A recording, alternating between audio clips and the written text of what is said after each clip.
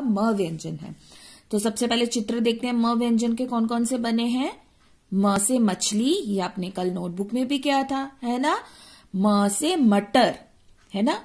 मटर तो आपको पता है। और म से और कौन कौन से चित्र होते हैं? म से मगरमच्छ, म से माँ भी होती है है ना? म से मोर भी होता है।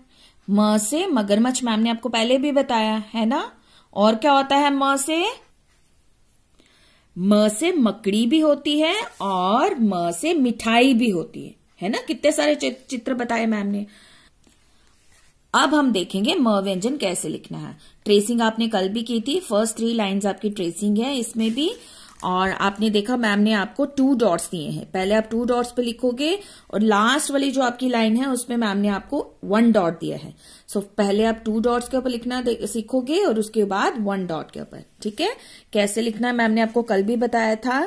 Standing line between the three blue lines big वाली स्टैंडिंग लाइन देन यहाँ पे फ़र्स्ट टू ब्लू लाइन्स में छोटी स्मॉल स्टैंडिंग लाइन बनाकर छोटा सा सर्कल बनाकर स्लीपिंग लाइन को बड़ी वाली स्टैंडिंग लाइन के साथ ज्वाइन कर देना और ऊपर आप लाइन ड्रॉ करेंगे। ये आपका बनेगा व्यंजन म।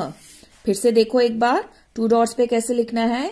Standing line big standing line small standing line circle sleeping line and join with the big standing line और ऊपर आपकी आ जाएगी you have to draw a line one line के ऊपर तो आपको अच्छे से पता कैसे है, आप फ़र्स्ट डॉट से शुरू करोगे एंड आपको पता है थर्ड ब्लू लाइन तक आपने यहाँ तक स्टॉप कर देना है ना? तो ये आपके हो गए big standing line then small standing line यहाँ से शुरू करके यहाँ तक फिनिश करनी है और यहाँ से आपने सर्कल बनाना है और इसके बिना पेंसिल को छोड़े आप स्लीपिंग लाइन बनाते हुए बिग स्टैंडिंग लाइन के साथ ज्वाइन करेंगे। तो ये बनेगा आपका म व्यंजन की